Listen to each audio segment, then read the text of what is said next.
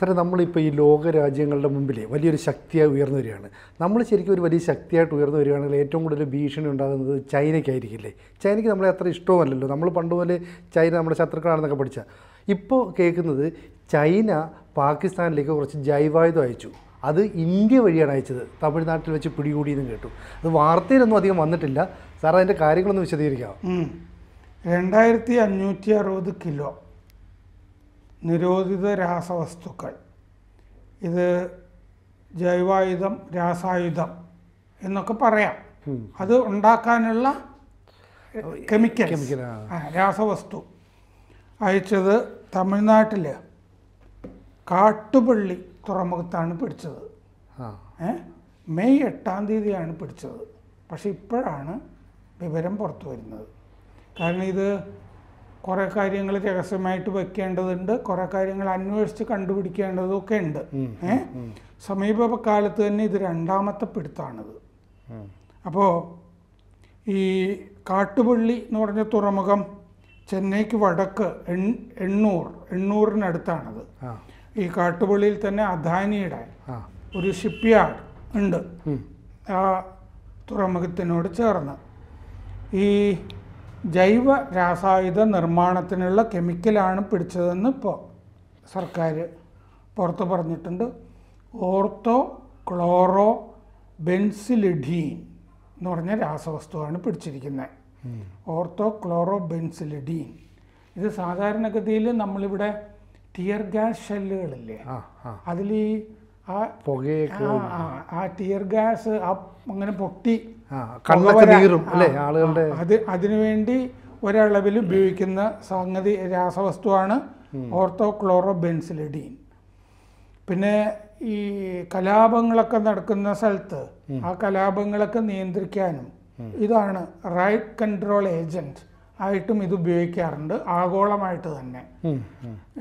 ഈ tear gas നമ്മൾ ഇവിടെയൊക്കെ പൊട്ടിക്കുന്നത് പോലെ തന്നെ കലാപങ്ങൾ അമർച്ച ചെയ്യാനായിട്ട് പൊട്ടിക്കുന്ന. പൊട്ടിക്കാനുള്ള സംഭവങ്ങൾ ഉണ്ടാക്കിയെടുക്കാനുള്ള രാസവസ്തു ആണ്.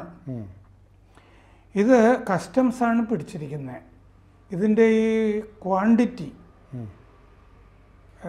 ഇതിന്റെ ഈ എന്താ പറയുക വ്യാപ്തി ഇത്രയും. രണ്ടായിരത്തി അഞ്ഞൂറ്റി അറുപത് കിലോ എന്ന് പറയുമ്പോൾ വലിയ വലിയൊരു സാധനമാണ് വ്യാപ്തിയായി. അത് ശരിക്കും ഞെട്ടിക്കുന്നതായിട്ടാണ് കാണുന്നത്. കാരണം ഇത് ഈ ബെൻസിലിഡീൻ എന്ന് പറയുന്നത് ഡുവൽ യൂസ് രണ്ടുപയോഗമുണ്ട്. ഒന്ന് സമാധാന കാലത്ത് പല കാര്യങ്ങൾക്കും ഉപയോഗിക്കാം രാസവസ്തു. അല്ലാതെ ഈ രാസായുധം ആയിട്ട് ഇത് കൺവെർട്ട് ചെയ്യാം.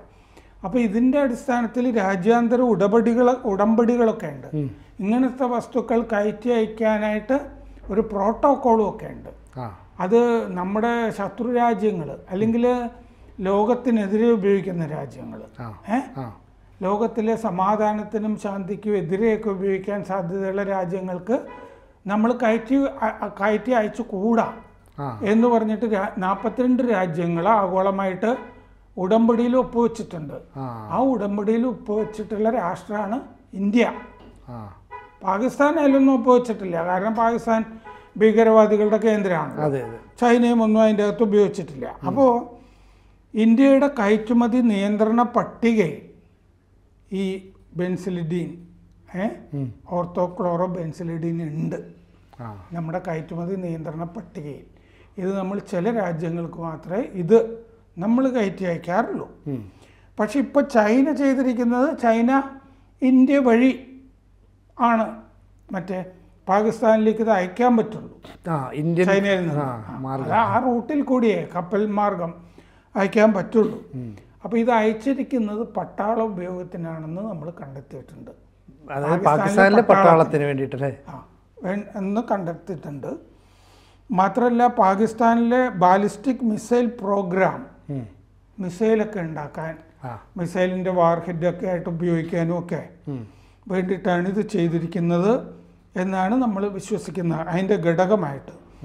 ഇത് അയച്ചിരിക്കുന്നത് ചൈനയിലെ ചെങ്ഡു ഷിഖൻ ട്രേഡിംഗ് കമ്പനി ആണ്. ചെങ്ഡു എന്ന് പറഞ്ഞിട്ടൊരു പ്രവിശ്യ തന്നെയുണ്ട് അവിടെ സംസ്ഥാനം. അതിന്റെ പേരിലാണ് ചെങ്ഡു ഷിഖൻ ട്രേഡിംഗ് കമ്പനി.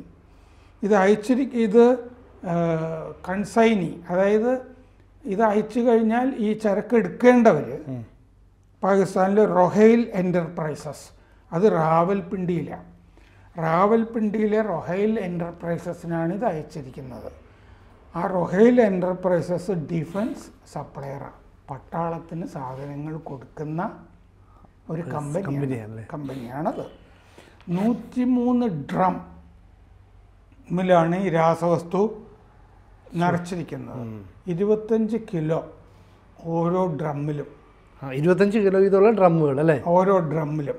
കൊള്ളുന്ന തരത്തിൽ നൂറ്റിമൂന്ന് ഡ്രം ആണ് ഈ മൊത്തം നമ്മൾ പിടിച്ചിരിക്കുന്നത് കപ്പൽ എന്റെ പേര് പിടിച്ച് ഇപ്പോൾ ഇട്ടിരിക്കുന്ന കമ്പലിന്റെ പേര് ഹുണ്ടായ് ഷാങ്ഹായ് എന്നാണ്. അതിൽ സൈപ്രസിന്റെ ഫ്ലാഗാണ് അതിന്റെ അകത്തുള്ളത്. ഏ? ഏപ്രിൽ പതിനെട്ടിന് ഷാങ്ഹായിൽ നിന്ന് പോ- കറാച്ചിക്ക് പുറപ്പെട്ടതാണിത്. ഈ ചൈ ചെന്നൈ എണ്ണൂർ തുറമുഖങ്ങൾ കഴിഞ്ഞാൽ ഏറ്റവും മൂന്നാമത്തെ വലിയ തുറമുഖമാണ് ഈ കാട്ടുപള്ളി തുറമുഖം. ഇത് ചെന്നൈക്കടുത്ത് ഇത് ഏ? ആയിരത്തി തൊള്ളായിരത്തി അറുപത്തിരണ്ടിലെ കസ്റ്റംസ് ആക്ട് നമ്മളിത് പിടിച്ചിരിക്കുന്നത്. ആയിരത്തി തൊള്ളായിരത്തി അറുപത്തിരണ്ടിലെ കസ്റ്റംസ് ആക്ട്. പിന്നെ weapons of mass destruction act രണ്ടായിരത്തി അഞ്ച് ഇത് വെച്ചിട്ടാണ് നമ്മൾ പിടിച്ചിരിക്കുന്നത്. വെപ്പൺസ് ഓഫ് മാസ് ഡിസ്ട്രക്ഷൻ എന്ന് പറഞ്ഞാൽ ഡബ്ല്യു എം ഡി അത് ജൈവായുധങ്ങൾ രാസായുധങ്ങൾ ആ അതാണ് ആ നിയമത്തിന്റെ- നിയമം വെച്ചിട്ട് തന്നെയാണ് ഇത് നമ്മൾ ചാർജ് ചെയ്തിരിക്കുന്നത്. നേരത്തെ ഞാൻ പറഞ്ഞ നാൽപ്പത്തിരണ്ട് അംഗങ്ങളുടെ രാജ്യങ്ങളുടെ ഉടമ്പടിക്ക്. ആയിരത്തി തൊള്ളായിരത്തി തൊണ്ണൂറ്റിയഞ്ചിൽ ഒമ്പ് ഒപ്പുവെച്ചതാണ് അതിന് വെസ് വെസാനാർ അറേഞ്ച്മെന്റ് എന്നാണ് ആ ഉടമ്പടിക്ക് പേര്.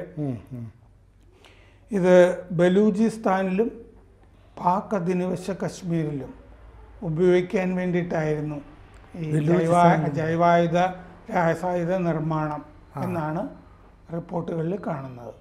അത് ഈ സ്വാതന്ത്ര്യ സമരം നടക്കുന്ന രണ്ട് സ്ഥലമാണല്ലോ പാകിസ്ഥാന്റെ ഉള്ളിൽ. അതെ അതെ അതെ. ബലൂചിസ്ഥാനും അതെ അപ്പോൾ അത് ആരാ ഉപയോഗിക്കാൻ നമുക്ക് പറയാൻ പറ്റത്തില്ല അല്ലേ? അവിടുത്തെ പട്ടാളം. ആ.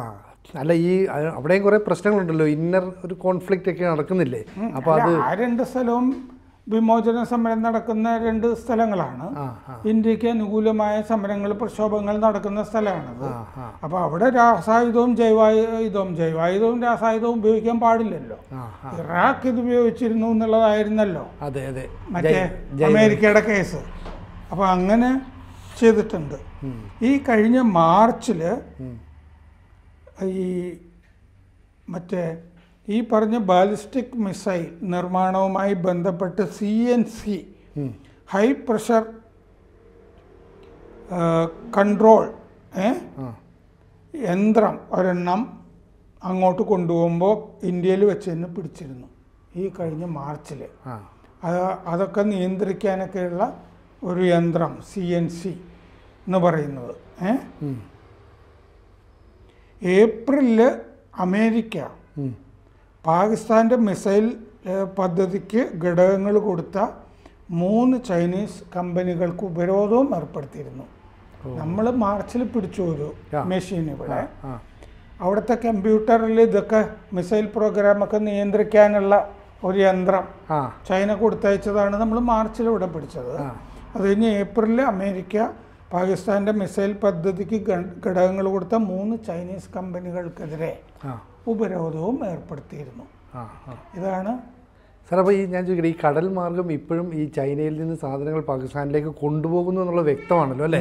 ആയുധങ്ങളടക്കം. അതിപ്പോൾ ഇന്ത്യയെ അത്രയും ഒരു നിരീക്ഷണത്തിൽ ആകുന്നുണ്ടല്ലേ? സൈന്യത്തിന്റെ ഒക്കെ നിരീക്ഷണത്തിൽ ആയതുകൊണ്ടല്ലേ ഇത് പിടികൂടി അത് ചൈനയിൽ നിന്ന് പോകുന്ന സംഗതികളൊക്കെ നമ്മൾ ഇരട്ടി ജാഗ്രതയോടുകൂടി ഇതിലെന്താണെന്നുള്ളത് നമ്മൾ നോക്കുമല്ലോ ഇതിന്റെ അകത്ത് ഇപ്പോൾ രാസായുധത്തിനാണെന്നൊന്നും പറയേണ്ട കാര്യമില്ല. കാരണം ഇത് ഒരു രാസവസ്തുവാണ് നിർദോഷമാണെന്നൊക്കെ തോന്നാം. പക്ഷെ അതിന് രണ്ട് ഉപയോഗങ്ങളുണ്ട്. ഡുവൽ യൂസ് ഉള്ളതാണ് ആ രാസവസ്തു എന്നുള്ളതുകൊണ്ടാണ് നമ്മൾ പിടിച്ച് എടുത്തിരിക്കുന്നത്.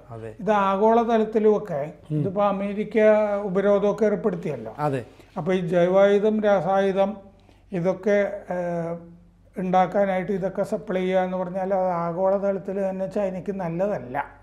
അത് നമ്മുടെ ഒരു ശത്രു രാജ്യമായ ചൈന മറ്റൊരു ശത്രു രാജ്യമായ പാകിസ്ഥാന് ആയുധങ്ങൾ കൊടുക്കുക എന്നുള്ളത് നമുക്ക് വെച്ച് പൊറപ്പിക്കാൻ പറ്റുന്ന കാര്യമല്ല.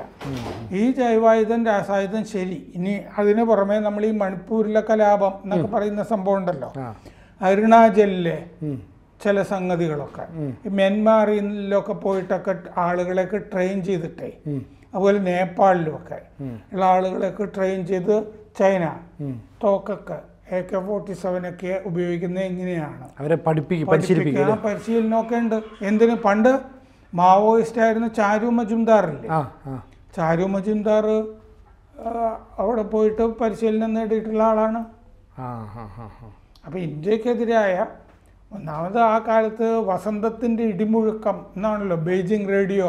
ഇവിടുത്തെ നക്സൽ ബാരിയിൽ നടന്ന ഈ നക്സൽ പ്രസ്ഥാനത്തിന്റെ ഉദയത്തിനെ പറ്റി തന്നെ പറഞ്ഞത്. അതെ അതെ. സാറേ അപ്പോൾ ഒറ്റ കാര്യങ്ങൾ ചോദിച്ചിരുത്താം ചോദിച്ചു നിർത്താം അതായത് ഇപ്പം ഈ പാകിസ്ഥാൻ എന്ന് പറയുന്നത് ഭക്ഷണം പോലും കഴിക്കാനില്ലാതെ ആകെ പട്ടിണിയിലാണ്. ചൈനയ്ക്ക് ഇന്ത്യയോട് വിരോധമുണ്ട്. അപ്പോൾ അങ്ങനെയുള്ള പാകിസ്ഥാനിലേക്ക് ഈ ആയുധങ്ങൾ എത്തിക്കുക എന്ന് പറഞ്ഞത് മനഃപൂർവം പ്രകോപനം പാകിസ്ഥാൻ സൃഷ്ടിക്കാൻ വേണ്ടിയിട്ട് ചില പ്രഷർ അവർ കൊടുക്കുന്നു. അല്ലെ? ഞങ്ങളുണ്ട് പിന്തുണ എന്നല്ലേ നമ്മൾ മനസ്സിലാക്കണ്ടേ അതെന്താന്ന് വെച്ചാൽ ഡെറ്റ് ട്രാപ്പ് ഡിപ്ലോമസി എന്നാണ് ഡിപ്ലോമസിയെ പറയുക ചൈനയുടെ. ഡെറ്റ് എന്ന് പറഞ്ഞാൽ കടം. ട്രാപ്പ് കടക്കിണി. ഈ ദരിദ്രവാസി രാജ്യങ്ങളുണ്ടല്ലോ. ആ.